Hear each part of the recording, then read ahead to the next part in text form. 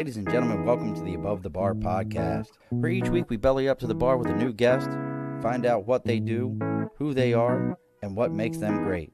So sit back, relax, and enjoy.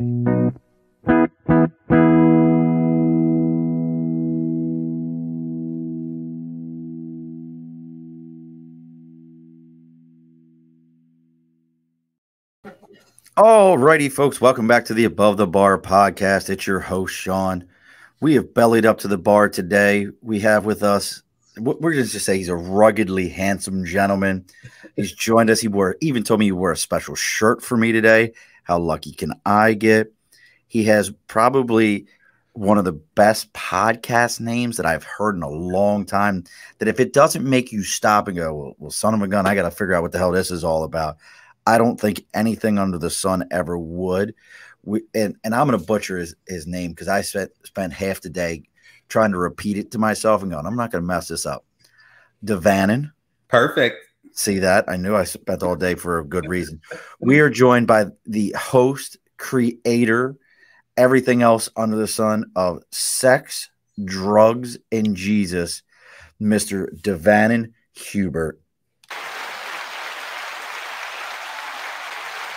Look at that. You even get applause and everything. How are you there, good sir? I live for the applause, applause, applause. That's like my fa- one of my favorite memes. So what's the it goes uh something about uh what's your dream job? And, and the woman goes, I do honey, I've told you I do not dream of labor. something like that. I love that one. So as we're getting ready to do everything, again, welcome to the show. I think it's fitting to have you on today. Uh, as we always say here at the Above the Bar podcast, uh, no topic is, is off limits and everyone is welcome. So I think today being the first day of Pride Month, hearing your story, hearing what you had to go through, I think this is quite fitting. And we didn't plan it this way. I was just looking for an opening for him to come on. And then all of a sudden I'm like, hey, wait a sec. Shit, it's Pride Month. This is perfect. Right. Doesn't get no better than this. It's like I almost planned it. But trust me, folks, I'm the worst planner that there is. So let's get the bar open. Let's get everything situated so we can get everybody uh, knowing. For those of you that are watching us right now, make sure you share this to all your favorite yard sale sites and everywhere else that you belong to, a group on Facebook or wherever you're listening, so that they can all go ahead and jump on here and ask questions. As always, please ask questions. Let us know what's going on. First things first, though, I'll move the mic off to the side so everyone can see it. You a football fan? Are you a football fan? On some days, depends on how hot the guys are. Ah, fair enough. fair enough. It's all about the tight pants. I get it. Um, exactly.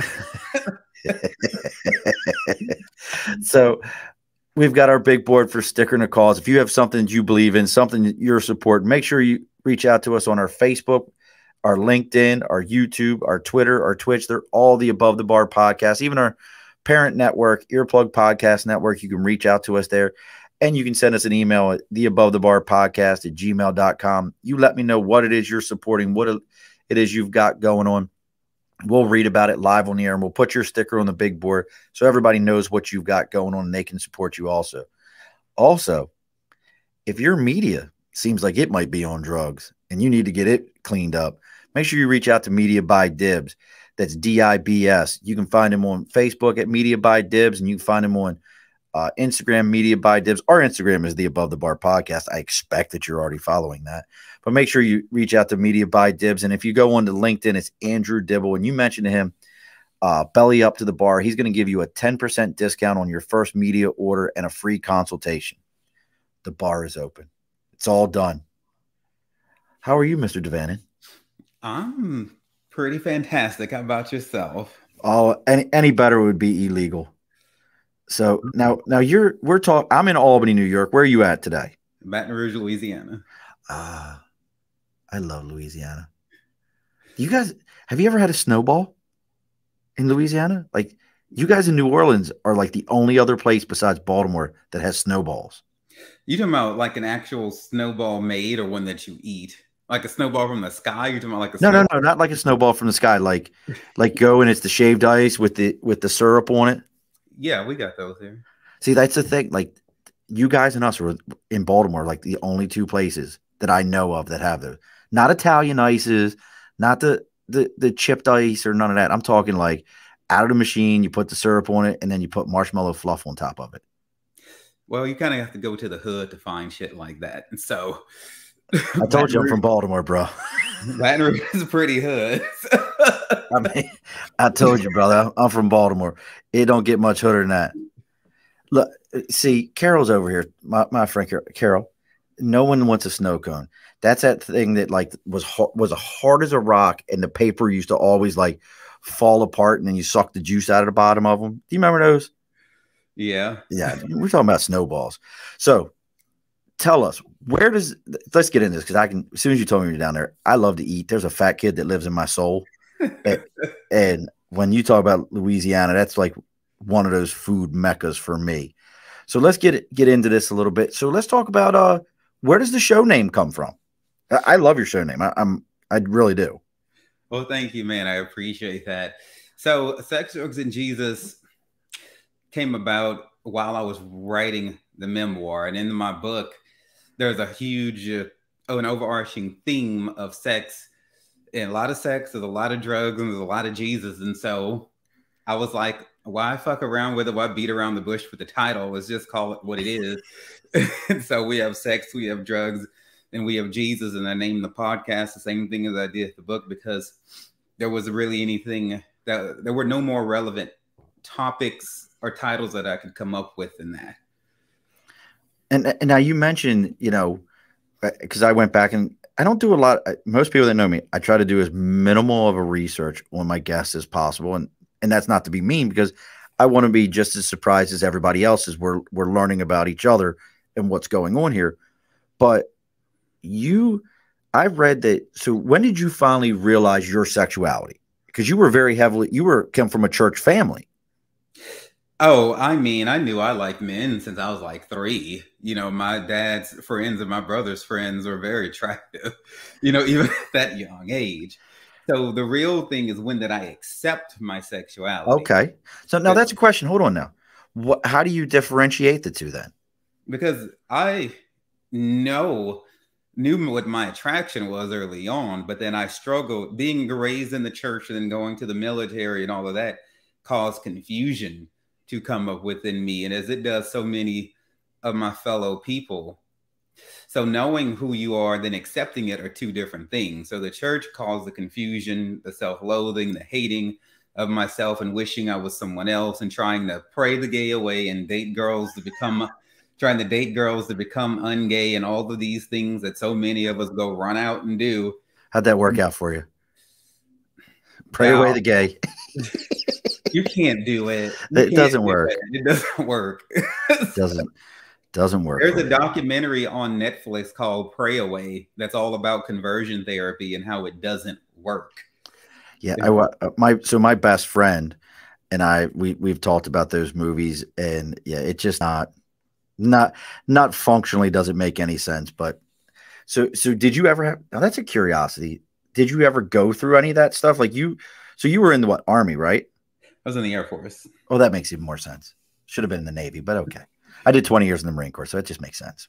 Lots of seamen over there. Look, nobody.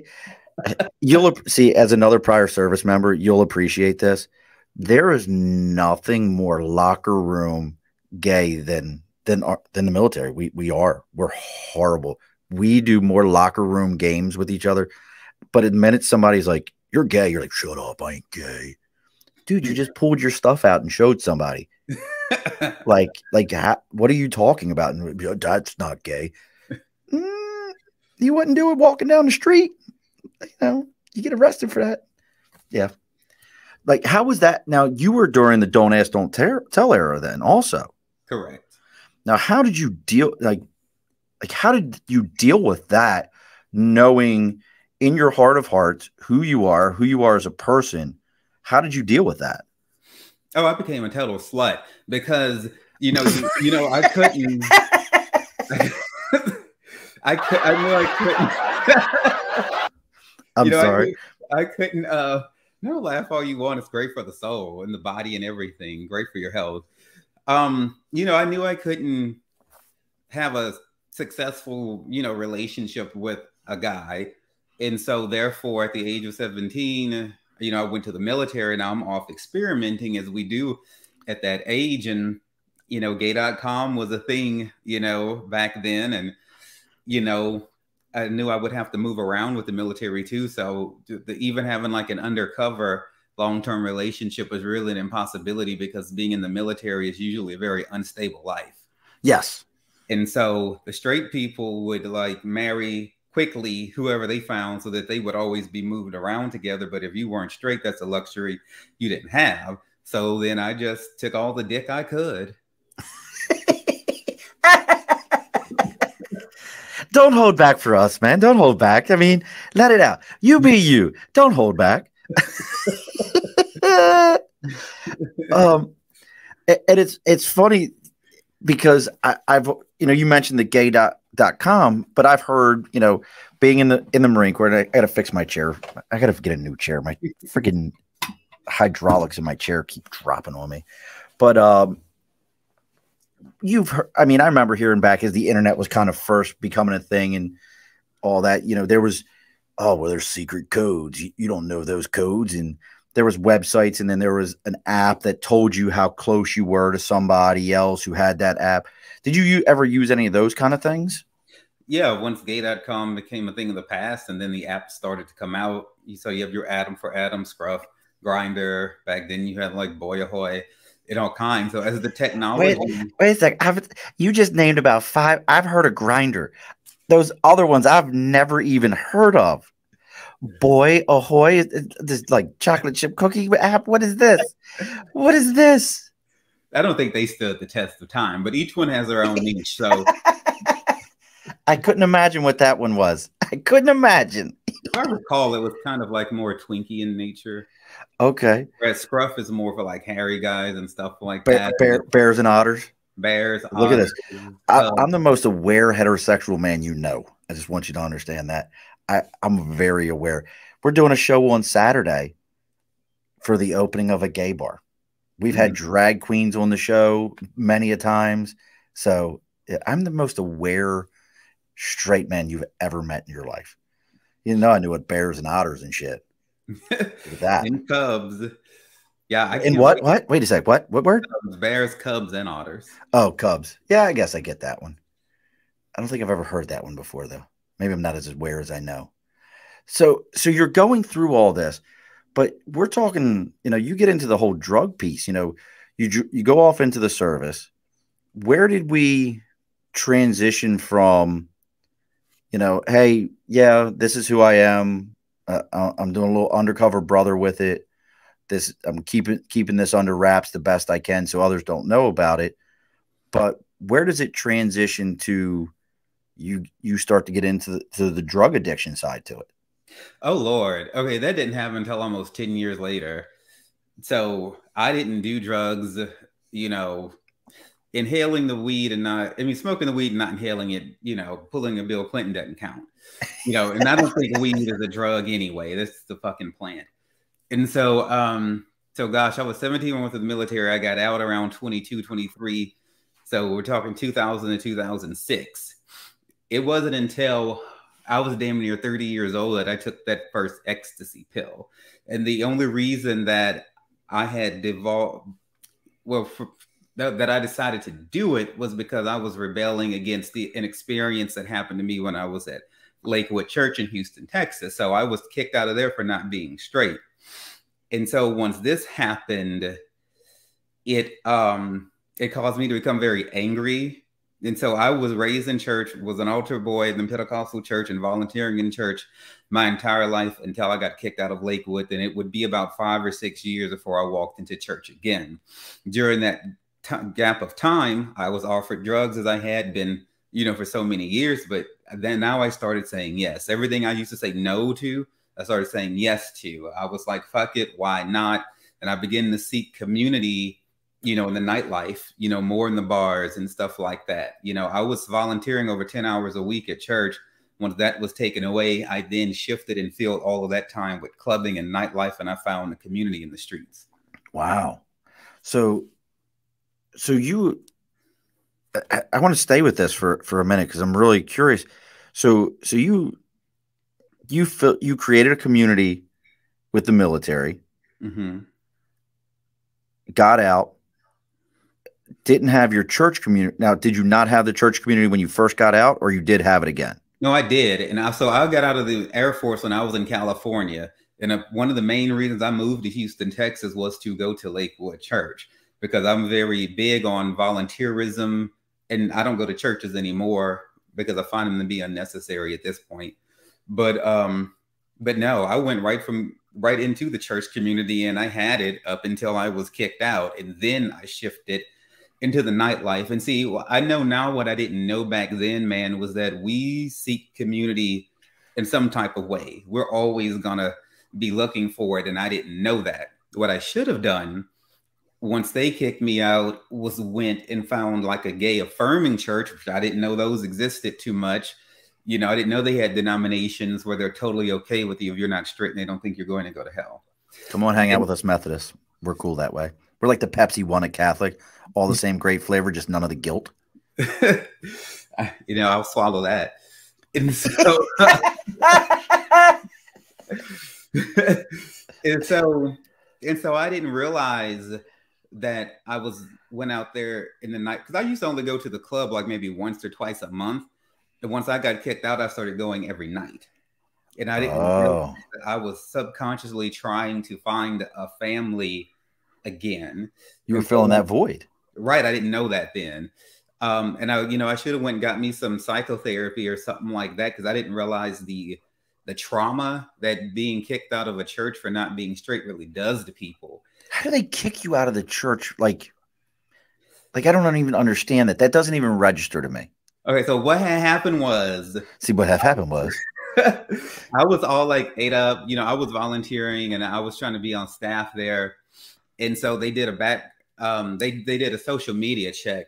You know, I had been volunteering there like 2-3 years, but that wasn't enough to vouch for my character. They needed to ask MySpace as well. That's how new social media was. We're talking Wow. MySpace days. And so I had like a a nice raunchy picture on there because we got tipsy one night and I did like a photo shoot in my underwear. And, and I was like, well, fuck it, I'm cute. I'm just gonna put this on my MySpace page. So uh, I judge no one for being vain in their 20s because fuck it. it, it is what it is. It is what fuck it is. And so and so they found this picture. So they called me into the office, the kids choir director and the adult choir director, because I was affiliated with the kids program and the adult choir because I sing and everything and stuff like that. And they were like, "We found your photo. We can't believe what you've been doing." And they were, they say, they, "We see you've been hanging out in Montrose, like in the gay district." And and they were like, "You can't be doing that with them hanging out there with those people." And so Oh, so and so and yeah, this is Lakewood Church, Joel Osteen, Houston, Texas, largest mega church in the country. oh, is that which that one is? Right. And I'm know and it doesn't really matter that it was there because this sort of shit happens at churches of every size. Right. Just the church where I happen to be at. If it was another church, I would have called them out, but I'm calling out the one that pertains to my story. And so they offered me a conversion therapy package. Oh, it's a package. They Oh, well, well, fuck it. I mean, there's a conversion therapy package. I didn't realize that was a thing. they had pre-selected some books that they wanted me to read to become ungay and they told me i would be fired from volunteering i was a volunteer supervisor in the kids life ministry and all of that they told me i couldn't sing in the adult choir and the kids and nothing anymore basically calling me a pedophile saying i'm no longer um, they don't trust me around their children uh, they said i could be demoted to be i could be an usher or a greeter and then once i'm not gay anymore then maybe i could work my way back up into their graces So just like ungay, we're gonna ungay you. Let's just get the, the ungay out of you. That's wild. Now, this is the same guy who basically robs people continually. Joel Osteen. That some guy. people actually a lot of people do refer to him as you know you know a thief in that manner so if that's how you choose to see him I, I, well, I mean, I, I just look at his father, who was nothing like like that, and started that church, and was very that wet, like spreading the word in his way. But even the mo- the mother has come out and said that no, like dad never planned on it being like this. I mean, so it's very interesting that they would do that to you because, again, one of the tenets of Christianity is judge not unless ye be judged. True, but there's there's what churches like that say to the public, and then there's what they do behind private. Now, my first mistake when I was filling out the application to volunteer in kids' life, they had on their in bold letters like if you're not if you are homosexual, that they do not want you around their children. They had that on the fucking application. Now, just getting out of the military, I'm thinking, okay, this is another one of those don't ask, don't tell situations. So I'm not trying to fuck any children. It's not like I'm Catholic or anything. And so I'm just gonna like Oh God. You know, mark no to this and go and volunteer and do this good work like what I'm trying to do. Right. I you know, I got plenty of grown-up dick to take. I don't need anything from little Johnny. And so but actually they take it quite seriously. And there are some people who, just like you see going on in politics today, basically, if you're not straight, you're a pedophile. To Republicans, to people who are conservative, like the Osteens and stuff like that, they don't say that shit on the cover, but behind right. behind the scenes. And then when they were firing me from volunteering, man, they tell me I'm not the only one. They were like, we do this all the time. And then you have churches like that that are always bitching about not having enough volunteers and I'm all like, well, bitch, stop firing them. you won't have these issues. Wow. So, I mean, and it's interesting. So, so you at this point in your life, you've you've distanced yourself from from any organized religion at all, right? Because in the pandemic helped me with this. I was like, you know what? It finally occurred to me that I actually grow more spiritually and I feel closer to God when I'm alone when I, I was spirit, when I was spiritually immature, didn't realize I was. I used to think that the closest I felt to God was when I was in worship at a church. I used to think I had to go to church to really connect with Him, but then as I grew, I outgrew churches. You know, and I think we all should. Church is nothing more than a school. It's a place you go to learn. So it's like college and all other things. You shouldn't be in school forever eventually you should know how to approach God, how to worship him and praise him and to learn about him without a fucking preacher. You know, you don't, you know, you shouldn't be in school forever. And so I don't think you need him anymore. well, that was the whole thing why they say that uh one of the law I think it was one of the lost books of Peter was removed from the Bible during the Constantine Reformation was because he made a comment along those lines like, no, you could just anywhere you go, you're good. And that took away the idea of organized religion, going to a church, and all those kind of things. Uh, I'm just curious. Have you ever looked into anything like, uh, and I don't know if this would fall into something that would even interest you, the Sisters of Perpetual Indulgence? I'm aware those are the guys, girls, or whatever that run around mm-hmm. dressed like nuns. And yep, and we've had we've had them on. We have fr- I have friends that do that also. That's uh, I was just wondering if that was anything that you ever thought about like from an organ from an org not necessarily from a religious standpoint but more of like where you said finding uh, uh, that group community kind of thing anything like that ever interest you i don't know in detail about the the sweet sisters every time i've been out and i've seen them there's been a lot of alcohol and they were just partying their asses off so i don't know what they actually do they do a lot of charity work. They do a ton, a ton of charity work. That's that's their big thing is uh, a lot of charity work. But yeah, look, Look, they they they know how to tip the elbow. Don't get that twisted. Don't get that twisted. So so now you went through this your addiction. I mean, and you got into meth. Like you you didn't bullshit around. You were gonna do it. You're gonna do it right. Well, I am a Sagittarius. you're gonna have to help me there. And I'm not sure who uh Brian Brian Glow light light bright says Bear Country. Yep, uh, it's out there. You know. So um, so I'm just curious. So, what was the awakening for you when you kind of said, "I got to get away from this path. I've got to break this"? From the church or from the meth?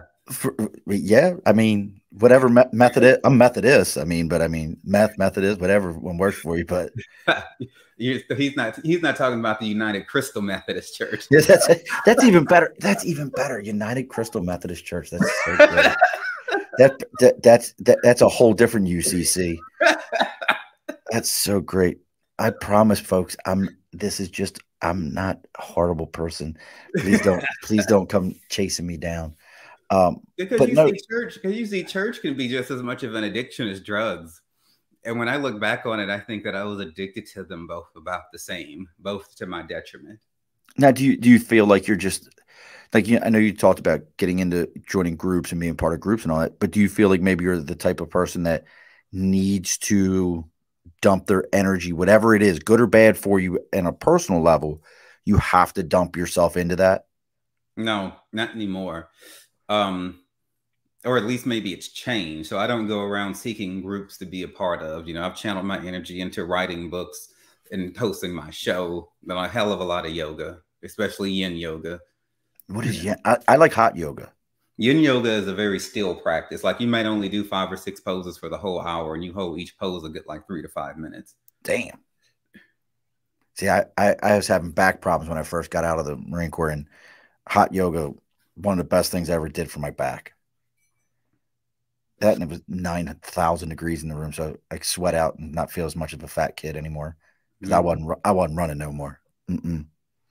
So so what was so what was the eye opener though for you to say, hey, I, I've got to I've got to break this drug addiction? I would say it was kind of gradual. You know, SWAT kicking my door in and coming to drag me out with the canines and the face shields and the fucking auto, semi-automatic rifles really didn't make me stop. Hold but, on. Hold on. You don't get to gloss over that. You don't get to gloss over SWAT and dogs and dragging you out by your. What the hell happened there? Well, I, I was selling a bit much narcotics, and I was hanging out with like, you know, and this strikes a lot of people as a surprise, but you like Aryan Nation and shit like that. Well, you know, Aryan Nation is not known to affiliate with blacks or gays. But I'm gonna tell you one fucking thing: if you can make them money, there are people even within the Aryan Brotherhood who don't give a fuck about race and none of that as long as you can pull coin.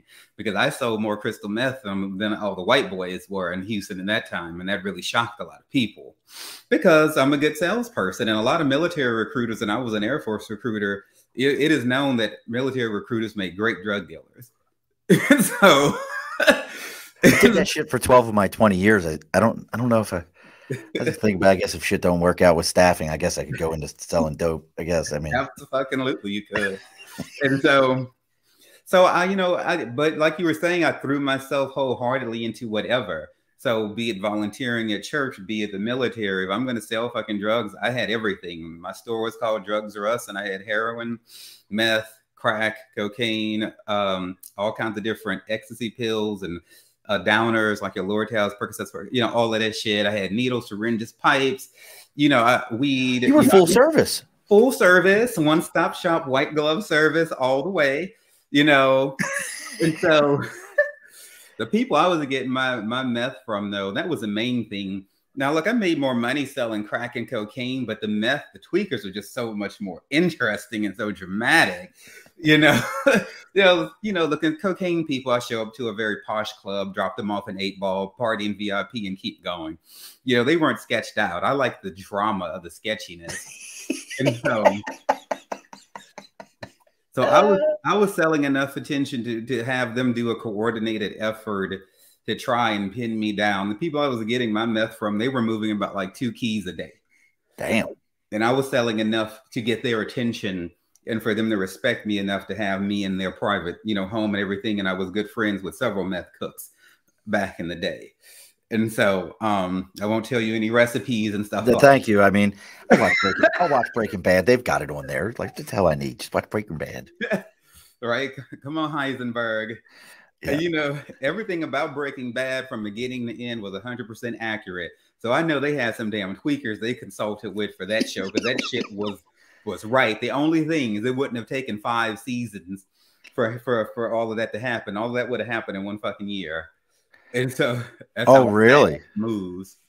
But you know, I was selling a lot of fucking drugs and I was really flashy. I had a brand new 2010 white Mustang football leather interior, and I was out at the clubs. I was too flashy to be a drug dealer, but I just I needed the attention, I needed the love, I needed it. I needed it. I couldn't stand being by myself.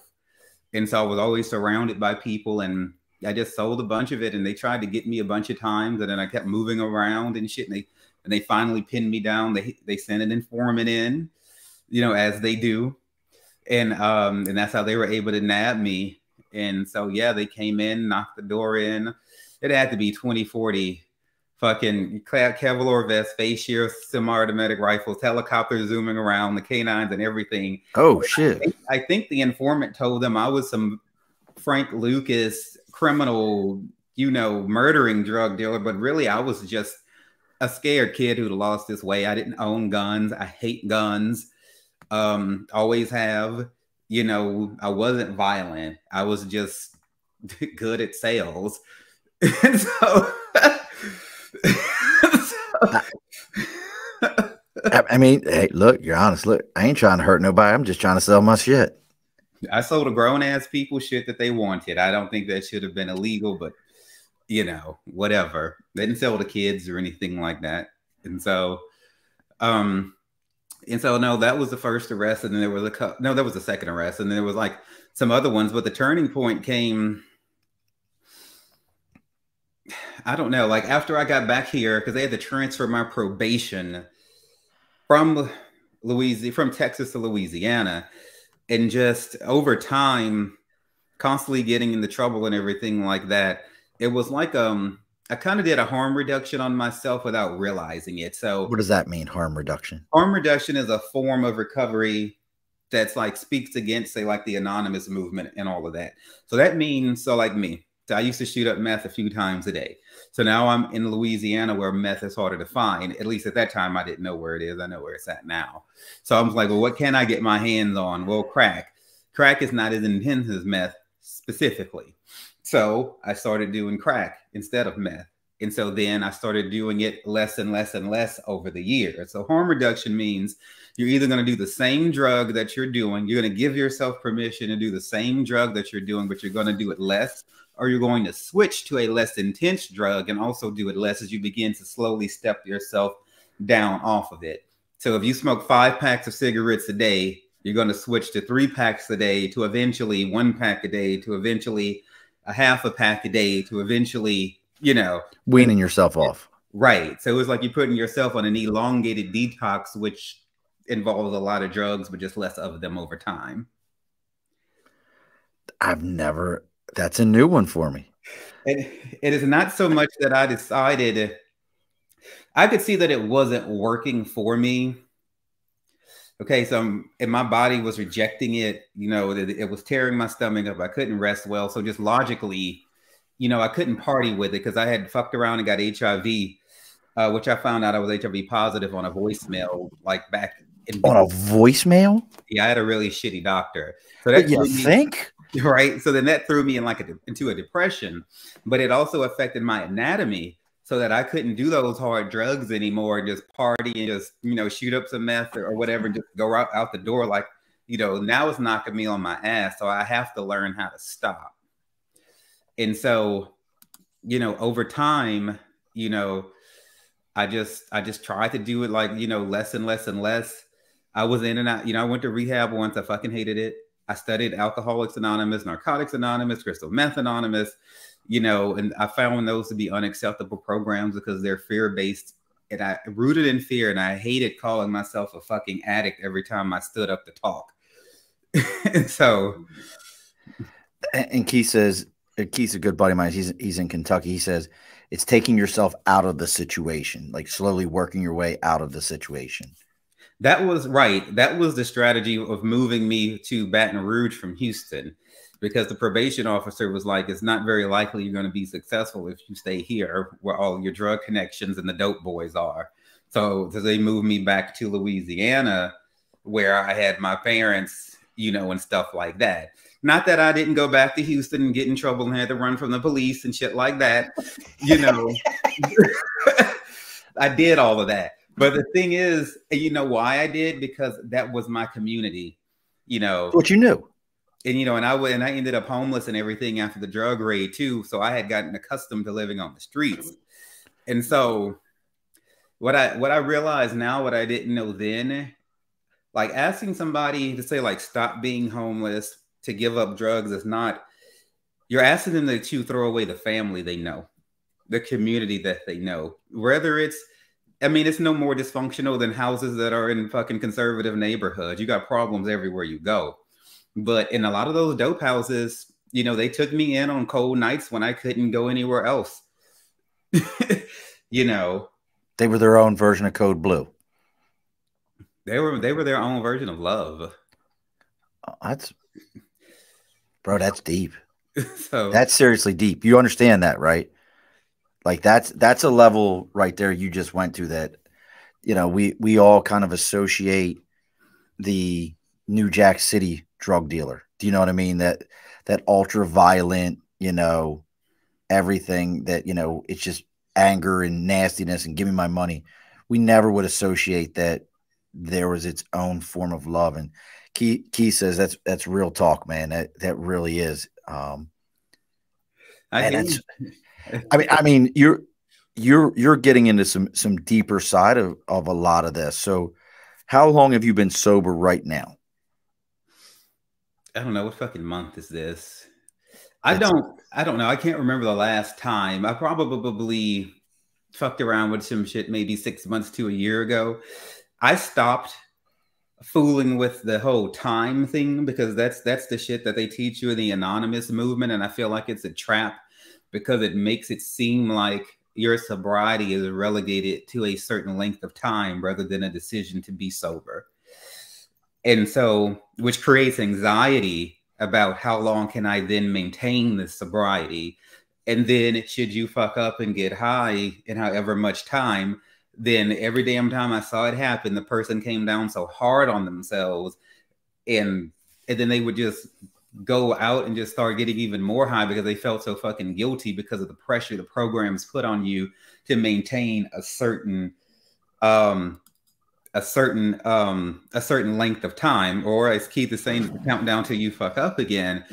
And i don't like that because you know what? To me i don't first of all i don't think drugs are bad. It just if you decided that they're too much for you then that's you but if if you were sober for a month or a week or a year or 10 years and then you go out and get high, I don't feel like you just lost that month or week or 10 years. You had one fucking high day and then that's it. There's no need to get all dramatic and cry and go running off. But if you've built up this expectation and this fear, like they tell you in those programs, like if you get uh, high, you're going to lose everything, you know, and you know they try to scare you into staying sober.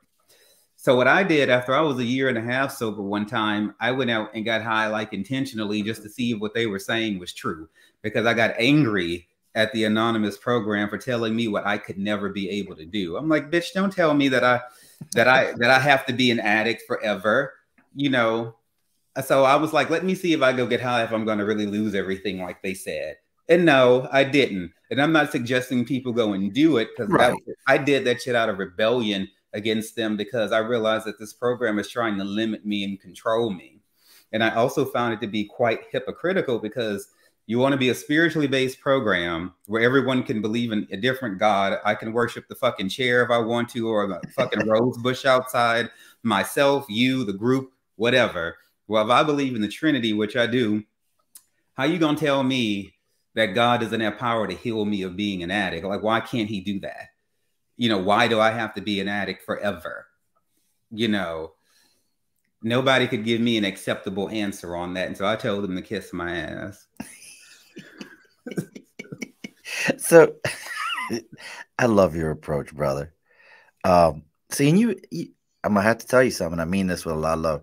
You ruined one of my good questions about Houston because I want to go to Houston, but you ruined one of mine because now I'm like, I can't go to Houston. My my man says, you know what? We can't go to Houston right now because I want to eat Viet Cajun, but I can't ask you about that in Houston.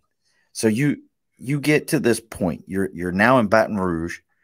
You're you're you're getting your act together. How do we get started on the podcast? And let's not forget because I'm gonna switch it up here because everybody's seeing the scroller sexdrugandjesus.com. Make sure you go check that out. You check out uh De'Vannon's uh podcast, Sex, Drug, and Jesus podcast. Make sure you you, get into that. But I want to uh, I want to also mention you even dumped your energy into a clothing line. Where does the clothing line and the podcast and, and all that kind of come together? Uh, Brian Glow has been clean since 11 4 2016. Hard as hell, but came out the other end. Brother, this is for you.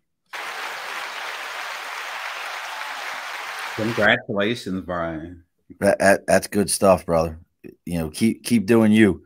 Um, so what is now? Now you're on the other side of this, um, brother. Your story is amazing, and now I know why you wrote a book.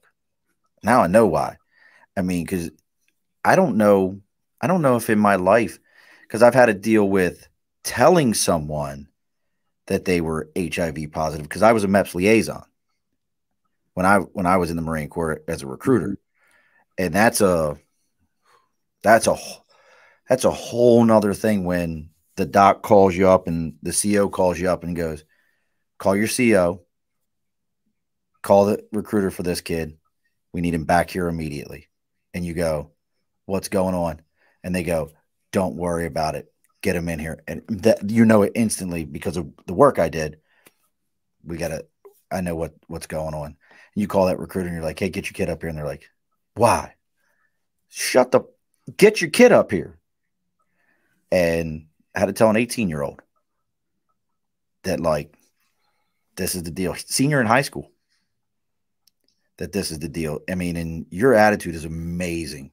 Your at, just your positive outlook on life, um, to to get to the point you are and to be able to show everyone like, don't be don't be a punk. You you can get on the other side of it. You can be positive. You can do things. And then you started a podcast that you're trying to compete with me. So I need you to go ahead and close your podcast down because I don't want nobody hearing you talk because of all this great message you got here. I don't want them to hear you. Then ain't gonna want to listen to me. so that's not we can't have that. But you got your podcast.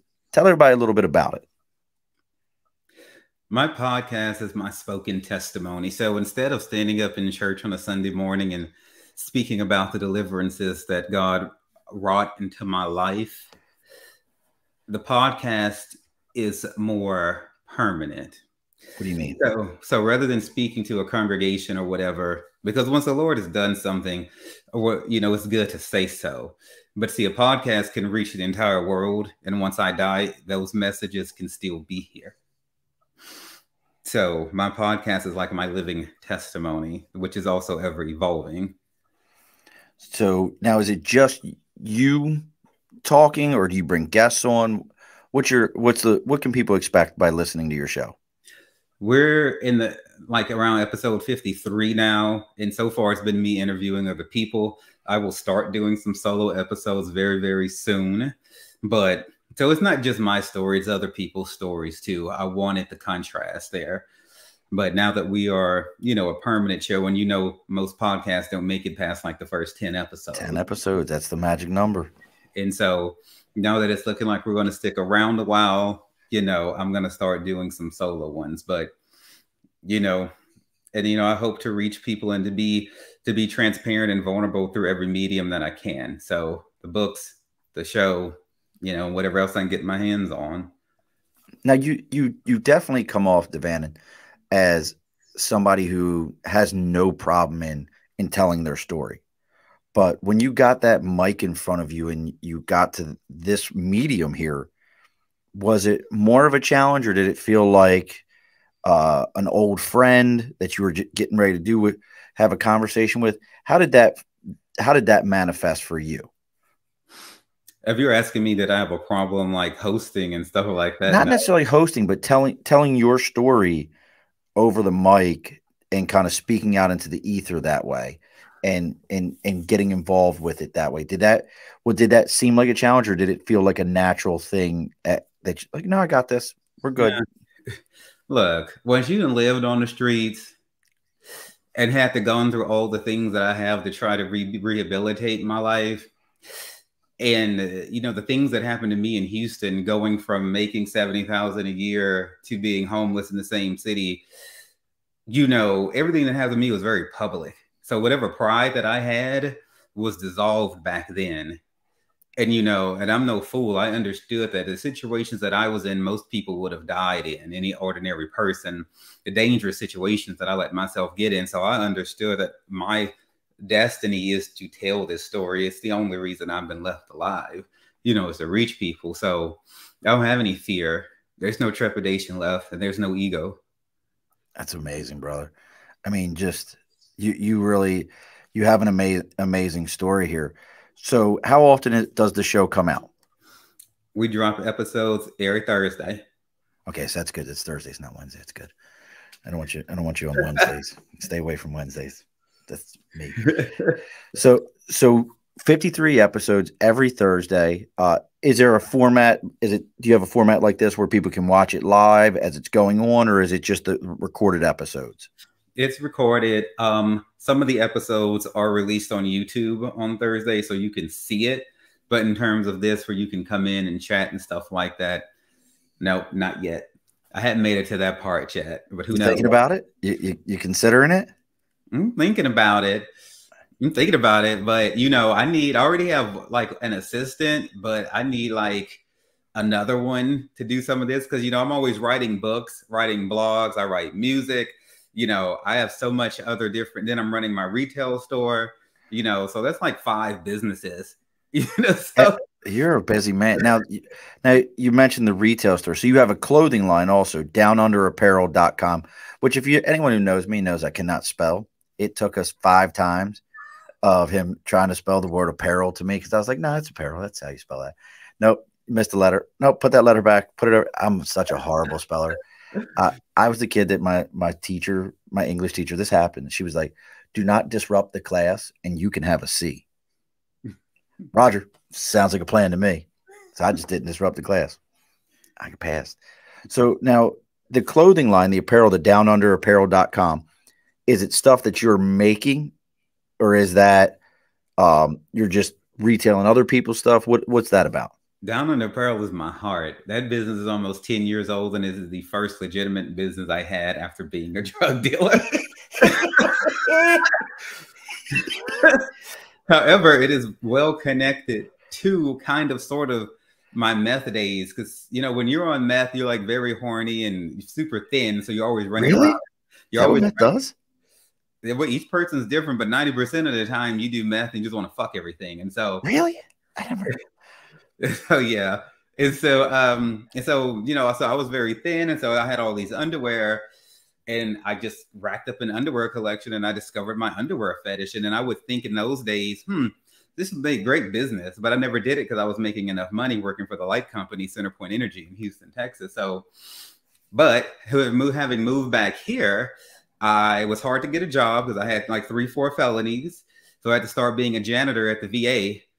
You know, then I went up to being a food delivery driver, restaurants. Then I went back to school to become a massage therapist and open a massage therapy business. But while I was a janitor, I was like, fuck all this.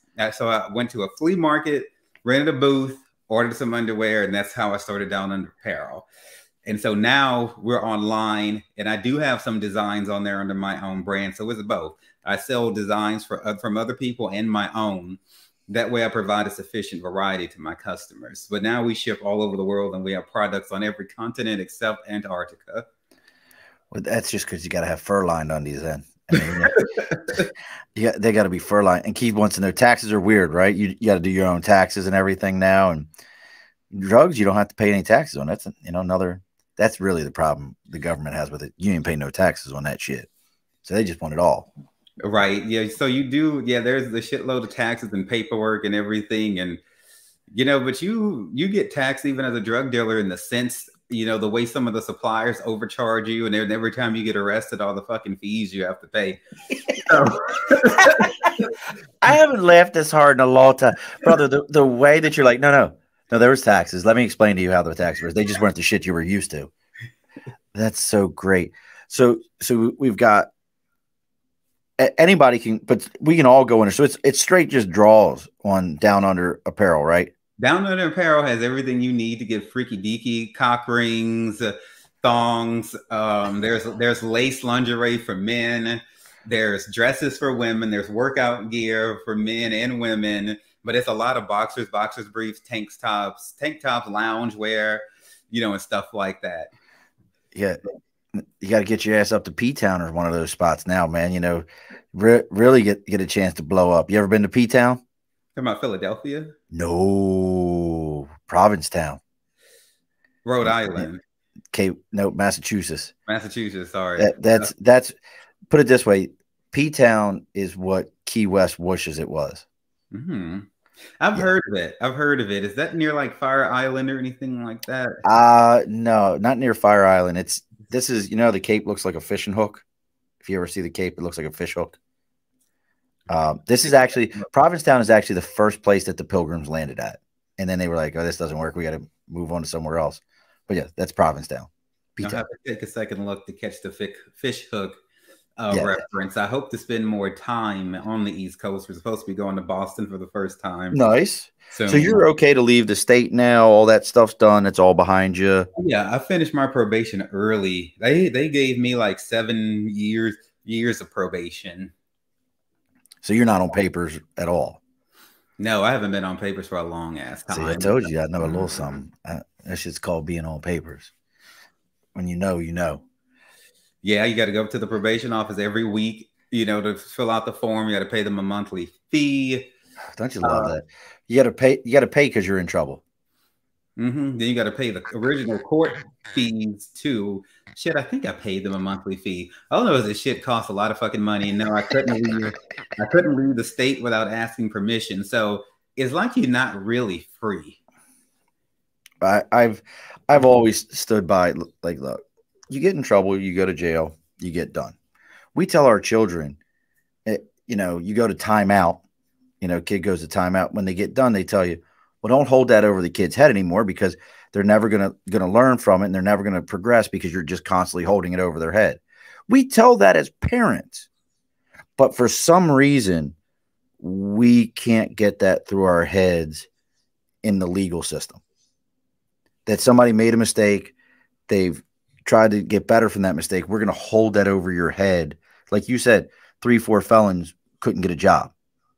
So, what do you expect the person to do to improve themselves? If I can't get a regular job, I can't do the things that I need to do to improve my situation.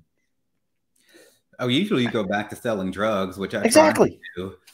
Um, so recidivism is real. I couldn't even volunteer at one of our museums here because of the felonies. They didn't even want me as a volunteer because of the felonies. I guess they thought I was going to walk off with some shit. A mummy? Gonna walk out with a mummy? Fucking no, but um, it's it's amazing to me. I mean, is there anything that that you learned throughout this that you know? Obviously, we could sit here and say, "Oh, is there something you wish you wouldn't have done?" Yeah, not get caught. Uh, you know, that's that is what it is. But what type of things is there anything that you would say to yourself, you know, if you had that that crystal ball, you know, that an eye opener that you think might have put you maybe not have changed your path, but maybe you've improved where you're going? Does that make sense? That sounds stupid the way I asked it. I'll, I'll answer that like as a hypothetical. Right. However, because however, once you read through like my book or listen to the audio book, which I narrated myself, the dreams that I put in there that I had at different stages of life speak to this that, that dark time and, and I had to go through it in order to, to minister the way I do now. So it was unavoidable. Kind of like Joseph having to go to jail before he could rule Egypt, so to speak. So, or asking him what could he have done different, not trust his jealous ass brothers. I'm talking about Joseph the dreamer from the Bible. So, so hypothetically speaking, I would have told myself, you know, don't you're not straight, so don't ever step foot in a church that doesn't celebrate who you are, no matter what your family told you to do or what your culture is. You non-straight person do not go to a church where they don't celebrate you because you're only hurting yourself. I would probably have told myself not to go to a military that doesn't celebrate you because again, you're only hurting yourself. And um, you know, and then that that creates trauma and shit like that, which then led to a lot of other bad decisions because the original trauma wasn't healed. You know, so us non-straight folks constantly put ourselves in these situations where we're marginalized and people don't really like us, but they still deal with us. You know, that's bad energy to be around. I would you agree know? with that. Yeah. Oh. And I like something you said. You you minister it. You minister the way you are today. Mm-hmm are you mentoring others now? Because that's when I think of ministering someone. You're mentoring others. Have you gotten to a point where now you can mentor others and you're working with others that maybe have been in similar situations? when I say the word minister, a minister is nothing more than somebody who speaks what they feel like God is telling them to speak in whatever way that is. My ministry has nothing to do with a physical church or having a group of people specifically to speak to. My ministry is to the world. And so, um, so that means that I am telling my message through all the means that I have, the music, the podcast, and everything like that. The, the fieriness behind it comes through that which I have been through, which makes my ministry and my ability to reach people more potent. We're ministering to people now. You know, you don't need a fucking pulpit or a fancy suit or a congregation to be a minister of God or of the word or to preach a message somebody can use. Those things are completely unnecessary. For ministry means you're supposed to give people something practical that they can fucking use, which has nothing to do with all the embellishments that seem to be have to do with Christianity these days. Those things are not necessary. You are absolutely right about that. You know, it, it's you you are a breath of fresh air, my friend. I, I have to tell you. You really you really are. I mean, your your approach you could really be a bitter, nasty SOB 100%. You you could blame everybody else and everything under the sun. And I get this vibe like you've taken it with a grain of salt and said, "No, I'm going to go be better than that." Nope, let me go be better. And, and it, it, it's pretty impressive. I wouldn't say I, I, appreciate that, man. I wouldn't say I took it with a grain. I mean, if it was a grain of salt, it was a huge bitter ass grain of salt. Big, big, nasty, dead, dead oh. sea flake. Yes, that I struggled with for years. That I was pissed off and angry at that doctor who left that HIV diagnosis. At like that's incredible to me. Like, so he just was like, just want to give you a call. You got HIV. Oh, Have a nice day. Was just fucked up because I had fucked around. Yeah, I was a hoe and I got all these diseases. Shit, fuck it. It was what it was. I enjoy riding dick and so I fucked around and I got like hepatitis B first. And so I found that out donating blood. They sent me a letter saying, don't bring us your blood anymore because it's filthy. You got hepatitis B. And so now I'm at the liver doctor trying to deal with the hepatitis B. Then he finds the HIV. And he didn't tell my primary care doctor. The liver doctor is a specialist. Right. He's not my primary care. That bitch should have told my primary care doctor. And he held those results for a month. And we were trying to find out, but he wouldn't tell us. So now it's New Year's Eve. I got all my drugs laid out, all my dope and shit, about to turn the fuck up, you know, and he's calling me. It's a Saturday. His office ain't even supposed to be open. I'm like, why are you calling me, leaving me voicemails? And I'm trying to party and I'm like high on everything I can get my hands on. And I check this fucking voicemail I just didn't want to bring in the new year. I didn't want to be a, a coward. I was like, let me just see. And he's all like, Yeah, you're HIV positive. Don't be out there spreading this shit around to people and coming to the office when you can. And so I never did because I totally freaked out and, and I just thought I was gonna like fucking die because everyone I ever knew who had HIV or AIDS did die. I didn't know anyone that I was in constant communication with who had HIV. So- like, like, like that's the most nonchalant message you could leave for something like, like, yeah, you got it. Don't spread it. But stop by the office when you get a chance. But see, Happy New Year. Why, this is why I don't fuck with doctors anymore. I only see nurse practitioners. They have the same head knowledge and prescribing power as doctors. The only thing is they have a heart and they have a soul. Um, I don't deal with doctors. You know, I need that nurse's touch. So a nurse practitioner can treat you the same as a doctor can, but they're going to actually love you and show you affection. And those mean ass doctors won't.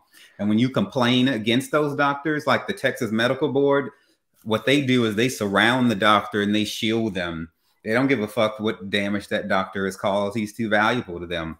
They're like, oh, no, no, no, no, no. It can't be that bad. wow. I, well, Texas is a whole nother thing in and of itself right now. That we, we, I ain't even gonna get into Texas. I ain't gonna get into Texas. Like Texas is that whole thing where everybody's like, "Go home, you're drunk." It's like Texas, go home, you're drunk. I, I can't. I don't know what's going on down there. Um, that's a whole nother animal.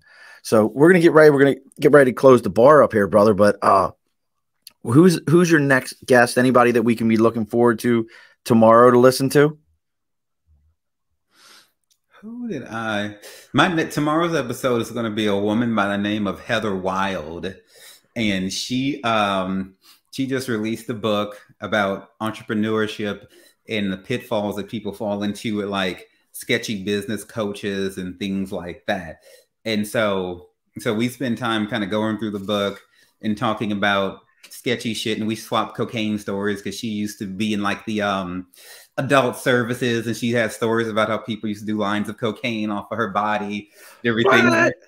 So, where see this is what 20 years in the marine corps i'm listening to these stories i'm like i missed out. Like where was i'm not trying to do no blow right now but damn i missed out on some shit. Oh nathan my favorite my favorite comfort food is seafood any kind of mm-hmm. lobster crawfish Ooh. crabs scrimps scrimp yeah it, it, that's it i love we just had uh argentinian shrimp uh tonight i started our grocery store started carrying those they're like big shrimp too I like mm-hmm. them. But I'm a see. So Nate's from Baltimore, like myself. So we're big uh, steamed blue crab fans. Got to be steamed. Don't boil my crabs. You you will get kicked out of the house. You will never be allowed back again. They must be steamed. All seafood must be steamed. Steamed what, works. Anything but fried. See, I'm the same way. I'm not a fried seafood fan at all. Like, I just can't mess with it. It just, I, I always feel like whenever some place gives me like fried seafood, I will say I, will take it back. I've had some good fried catfish before. I've had some decent fried catfish, but I always feel like whenever somebody fries your fish, it always ends up like uh more breading than fish, and it like the fish shrinks and it's like a hollow case around it. You know what I mean? It's horrible. Uh, Nate says boiling is wrong. You're absolutely right. Like if you like to boil your seafood, this is not the show for you in any way, shape, or form. I just can't. I can't mess with you at all. So we have Miss Heather Wild coming on tomorrow. Um, the book name we you never never dropped the book name. My book name or her book name? Your book name. I don't care about her book name. I care about you. Yeah, my uh, book name is Sex, Drugs, and Jesus. It's the same as the podcast. same as everything else. Sex, drugs, and Jesus. Yep. Where's it at? Bring it up here. Thank Put it on the screen. That's a great. Who did your cover art? This guy who lives in Greece and I met him through 99designs.com. And I recommend everybody go there when they're ready to get a book design, a postcard design, a CD cover design, or you know, music, artwork, whatever the fuck you need. It's a great website. Dude, that cover is badass. For those that, that aren't looking at it, it's a it's a skull with bars for eyes, a crow sitting on top of him. Is that flames around the around it, or is it in sand? Smoke. Oh, smoke. Meth smoke. meth smoke around the skull, and then the word sex and Jesus are in red and drugs are in white. Amazon, everywhere you can find it. Yeah, on my website, there's a universal book link for people who hate Amazon. There's it's like everywhere. And the crow's also holding a syringe with blood in it. Oh, I could, I could, I couldn't tell that. So that's perfect, brother. Dude, that's badass. That's a badass cover right there. I've seen a lot of good book covers. Yeah, what I'll tell you, where most of the stuff that you've got, the naming of it and the imagery makes you want to go check it out. Whether you're into it or not, it just makes you want to go like, the hell is that over there? Well, so I okay. give you a lot of credit there. You know how to market it. That, look, that's a that's a good drug dealer life. You know how to market that shit. that's it. Let me show you how to market these drugs right here. Go ahead and get you good and high right now, son. Come on over by here. Go ahead and take a little puff of this meth right here. Shoot up a little bit. Uh, no problem. Feel good and high, don't you? and they always come back for more. Oh no, no, the first one's on me. You'll like it. Come on back and see me. Yep, get them on come back. Oh shit, that's wild, bro. Like you, I, I'm impressed. Uh, such a great conversation, brother. You are welcome at the bar anytime you would like. Um, we're not doing bumps off my bar. I'm gonna, yeah. There's a bathroom if you need to do that, but you ain't doing bumps off the bar. Nothing personal. People are like, "What the fuck is going on over there?" It's lost its mind. But we we appreciate you. So Thursdays five p or Thursdays is when your show drops. Uh, we've got Heather Wild this week. Fifth, this will be episode fifty three or fifty four coming out. We've got the book, sex, sex, drugs, and Jesus. I almost said rock and roll. So sex, drugs, and Jesus. We've got the book that you can check out. The podcast by the same name. We're going to check out uh, Down Under Apparel. Make sure you spell apparel right, and you're not like me. It's A P P A R E L. Don't be illiterate like your host. Can't spell. It's all right. I switch out T T's and D's in, in the way I speak Baltimore. There's no T in that word. Uh, make sure you check out downunderapparel.com any other things you got going you want everybody to check out? You got any appearances, lives, anything going on? No, just stay tuned. There's two other books that I'm working on. Um, one's called Don't Call Me a Christian, which gives my views on the current clusterfuck that is Christianity. It will be a free book, although I'm writing it just as intensely as I did this one. I just feel like I shouldn't make people pay for that. And then the next one is a next one is a poetry book. Now, why not why not charge for that book? Because the, Don't Call Me a Christian is a book that is the core of why I'm doing what I'm doing, which is to encourage people to have a spiritual identity and to be serious about their spiritual walk and not to be casual with it. And so, so winning souls, whatever you want to call it, you know, God is at the center of everything. And so this book is centered around my thoughts on that. And people will take free shit, and some people won't spend a penny on some things. I don't judge them for being cheap.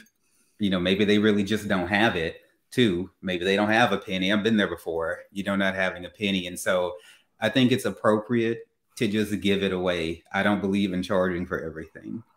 Well, when you got it done, make sure you share it onto the Above the Bar podcast Facebook page and all of our stuff. You are welcome to, to share your links with us so that everybody gets to, to see it. Spread spread that word. I mean, you're you're you're you're doing the Lord's work. I mean, let's call it what it is, brother. I mean, I'm, I'm very very impressed by all of it. This see, people always ask me, why why don't you research your guests beforehand? Because I want to enjoy this shit as much as everybody else. How the hell am I supposed to know it if I already know everything? Like, hey man, I read this. Is that true? I read that too. Is that true? Yes, I already know all this shit. Why am I talking to you? Mm-hmm. This is more fun. And I know you thought I was just some crazy, crazy ass white dude with a big giant beard. I know you did. Now, now you just know I'm just a guy with a beard crazy as white dudes have been my biggest supporters over the years. So. my chair fell down as I laughed so hard.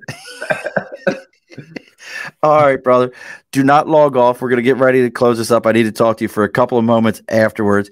As we do on every single one of the episodes, we got to do this. Uh, let me remind everybody real quick before I forget. Look, for everybody's out there listening to us and enjoying, make sure you follow, like, subscribe, share take your neighbor's phone out out of their hand, go through their podcast, put this on their phone. They'll love you for taking it out of their hand. They'll appreciate it.